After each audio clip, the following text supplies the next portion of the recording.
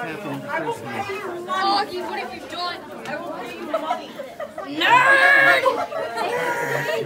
Sorry. It's no good. I like looking at her this way too.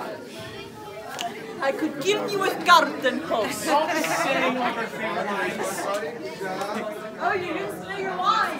You disappointed us all. What have you done? Right here for you. Good job.